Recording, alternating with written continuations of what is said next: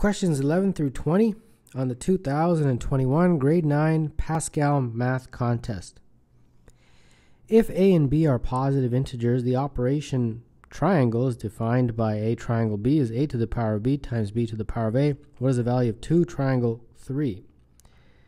According to the definition, it would be 2 to the power of 3 multiplied by 3 to the power of 2. 2 to the power of 3 is 8. 3 to the power of 2 is 9. 8 times 9 is 72. Number 11. The answer is B. In the diagram, PQR is right angled at Q and has QPR as 54. Also, P lies on PQ such that PRS is equal to QRS. What is the measure of RSQ? Well, we can easily figure out those angles. That would be basically angle PRQ, that plus 54 plus 90 is equal to 180. So very quickly we can figure out that PRQ is equal to 36. And therefore, since these are equal, each of those will be half of that 36. So 2, let's just call it theta. If 2 theta is 36, then theta is 18. So this is 18 right there. So now to figure out RSQ, well, RSQ, that would be that angle in there, RSQ. That plus 18 plus 90 is 180. So when you do that math, RSQ looks like it will be 72. And therefore, number 12, the answer is E. If m plus 1 is equal to n minus 2 over 3, what is the value of 3m minus n? m plus 1 is equal to n minus 2 over 3. 3m plus 3 is equal to n minus 2. 3m minus n is equal to minus 2 minus 3, and that is negative 5. And that's it. Number 13, the answer is B. A robot is placed on the grid shown, the robot starts on square 25, initially facing square 32. The robot moves two squares forward in that direction that it is facing, rotates clockwise 90 degrees, and moves one square forward in the new direction. Thus, the robot moves to square 39, turns and faces square 38, and then moves to square 38. The robot repeats the sequence of moves 1, 2, 3 two more times, given that the robot never leaves the grid on which square does it finish? Okay, so we where did we end up here? 38, right? Okay, so from that, let's just go through 1, 2, 3. 1 is going forward 2, so 1, 2. Then the next is you have to turn 90 degrees clockwise, so now we're going to be facing upwards. And then as you're facing upwards, you have to do uh, this number 3, which is move 1 square. So we're going to move to 29. Okay, now we got to do the same thing again. First thing, we're pointing in that direction, so we got to move 2 in that direction. Then from that, we have to turn 90 degrees, so that means we're going to be pointing that way. And then in that direction, we're going to move 1. And when you do, you end up at 16. So if you follow the directions properly, 16 is the answer. That means that would be choice A. Nate has a grid made of shaded and unshaded 2 cm by 2 cm squares as shown. He randomly places a circle with a diameter of 3 on the board so that the center of the circle is at the meeting point of 4 squares. What is the probability that he places the disk so that it is touching an equal number of shaded and unshaded squares? Well, it's a probability, so it's going to be something over something. And the denominator is the total number of choices. Total number of choices would be total number of, of uh, centers uh, that you can place. So this is 1, 2, 3, 4, 5, 6, 7, 8, 9, 10, 11, 12, 13, 14, 15, 16, 17, 18, 19, 20, 21, 22, 23, 24, 25. So I counted them out because I wanted you to understand that we're really looking at the centers being placed on any of those points because any of those points represents the center of four squares meeting point of four squares, which is how the question words it. Okay, now, How do we do it so that it meets the specific condition, which is what would go in the numerator? And that specific condition is that the um, circle will be touching an equal number of shaded and unshaded squares. Okay, well, I place it here. It does. An equal number of shaded and unshaded squares. Two unshaded, two shaded. Yes to this guy, but not yes to the next one, not yes to the next one, yes to this one. Yes here, yes here, yes, yes, but not the next one. No, yes here, yes, uh, yes again, I believe. And then no, no, no, yes, yes, yes. And then finally the last one, yes and yes. So how many is that? 1, 2, 3, 4, 5, 6, 7, 8, 9, 10, 11, 12, 13, 14, 15 over 25. That is reduced to 3 over 5. Great. So number 15, the answer is E. An integer m is a perfect cube exactly when it is equal to n to the power of 3 for some integer n. For example, 1000 is a perfect cube since 1000 equals 10 to the power of 3. What is the smallest positive integer k for which the integer 2 to the power of 4 times 3 to the power of 2 times 5 to the power of 5 times k is a perfect cube? 2 to the power of 4, 3 to the power of 2, 5 to the power of 5 times k. For something to be a perfect cube, this has to be 3 or some multiple of 3.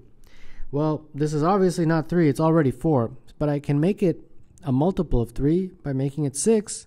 To do that, I would have to add, or multiply by, I should say, 2 to the power of 2. Let's talk about the next one. I've got to make this number a multiple of 3 for it to be a perfect cube. The smallest way to do that is to just multiply by 3 to the power of 1. And then when you add the exponents, it would become 3. And that is definitely a multiple of 3. How do I make this a multiple of 3? Well, I can make it 6 by multiplying by 5 to the power of 1. Then when you do 1 plus 5 would be 6. So basically that's what k is. And when you do the, it would become, when you multiply this by this, let's just put that over here. So instead of k, we've sort of identified what k would be, 2 to the power of 2, 3 to the power of 1, and 5 to the power of 1. And this is, of course, the smallest k. I can make them bigger, but they're asking for the smallest. This would become 2 to the power of 6 times 3 to the power of 3 times 5 to the power of 6. All of them are multiples of 3, and therefore that is definitely a perfect cube. This is 4 times 3 times 5. What's that? Uh, 4 times 15, 60. So number 16, the answer is C. In the diagram, paths 1, 2, and 3 are drawn on a grid. Paths 1 and 3 consist entirely of straight line segments. Path 2 consists of a straight line segment and a semicircle. The length of path 1 is x, path 2 is y, and path 3 is z. Which of the following is true? Okay, so path 1 is x, this is y, and this is z. Okay, let's figure out what they are, and then we'll do the comparison. x, 1, 2, 3, 4, but be careful, these are not ones. This is a diagonal. So 1, 2, 3, 4 so far, 5, 6, 7, 8. So I've got 8 that I can immediately count, but then this one and this one I've got to do Pythagoras. So if this is 1 and this is 1, and this we'll just call it a, the length of that I can get with Pythagoras. a squared will be 1 squared plus 1 squared. So a squared will be equal to 2. a is root 2. And I've got two of them, right? I got this one and this one, so it's 2 root 2.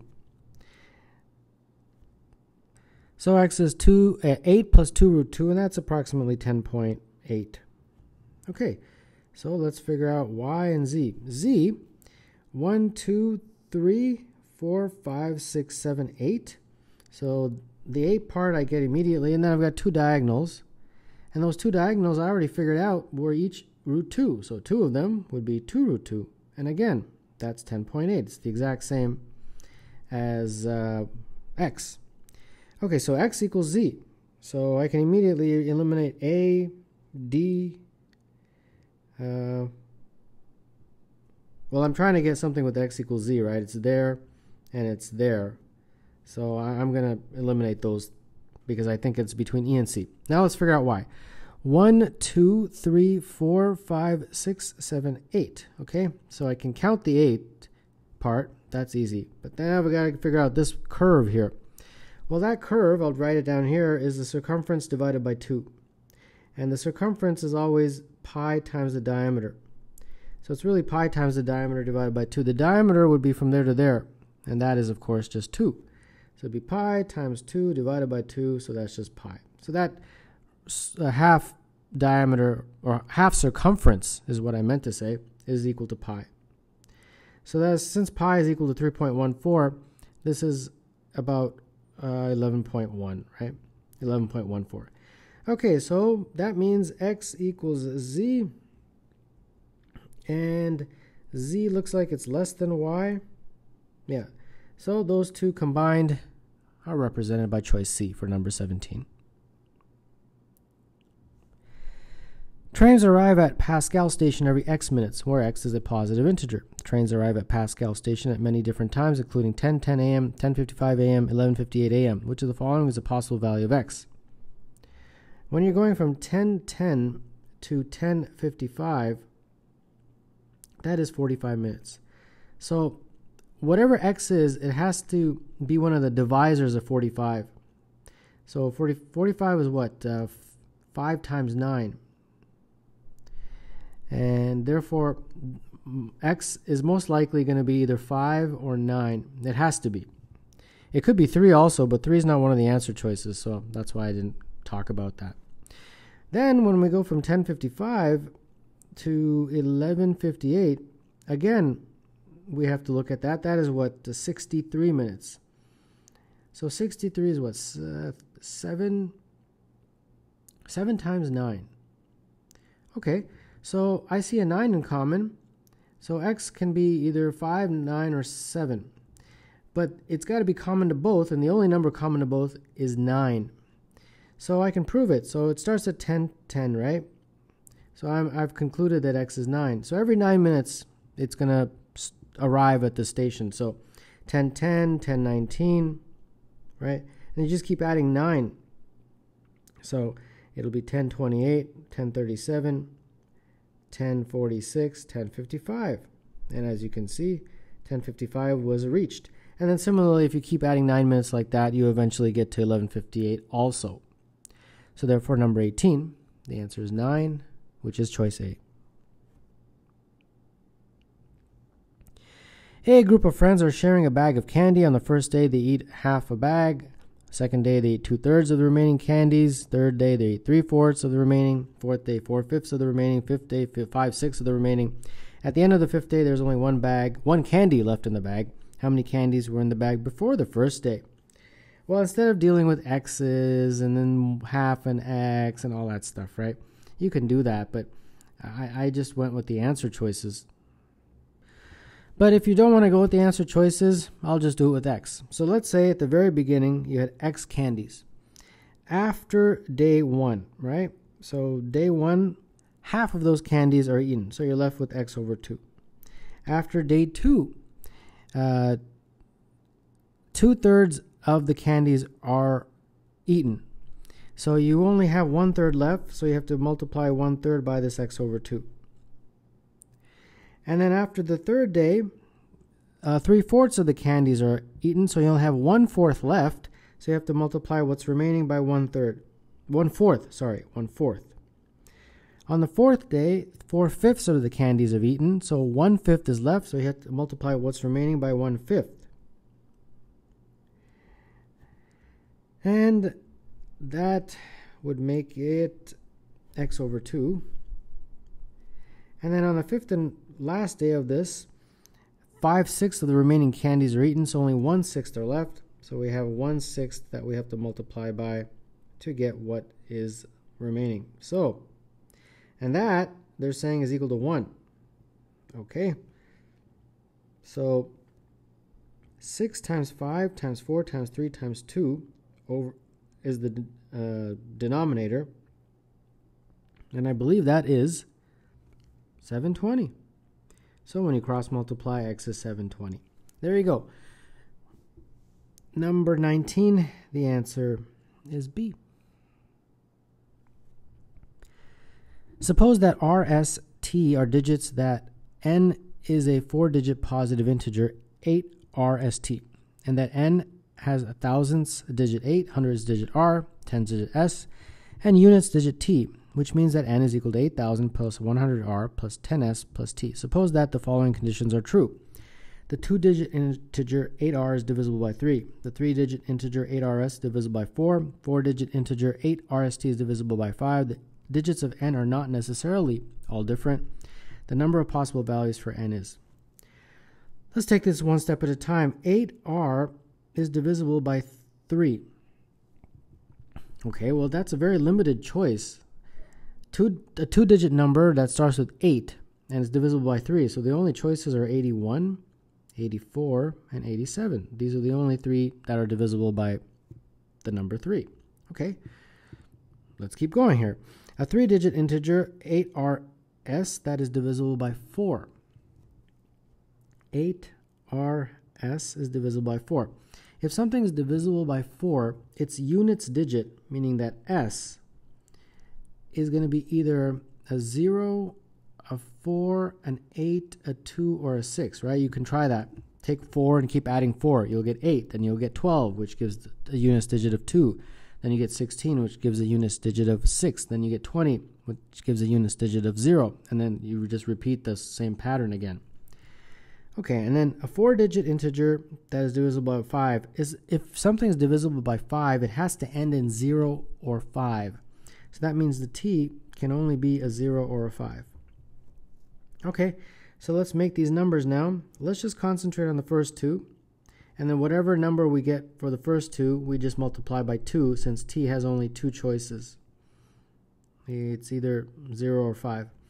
Okay, so we got 81 with a 0, 81 with a 4, 81 with an 8, 81 with a 2, and 81 with a 6. Okay, then we have 84 in a very similar way with a 0, 4, 8, 2, 6, 84. And then finally we have 87 with 0, 4, 8, 2, 6. So the first criteria is fine. Now we got to check the second criteria. Are these any of these numbers divisible by 4? And you're allowed to use a calculator, and when you do, or you can do it in your head if you want, the ones that are divisible by 4 are the ones 812, 816, 840, 844, 848, 872, and 876. So 1, 2, 3, 4, 5, 6, 7. Only 7 of them. And then each of those can be added to a 0 or a 5. So really it's 7 times this 2 would give you the total. And that is, of course, 14. So number 20, the answer is E.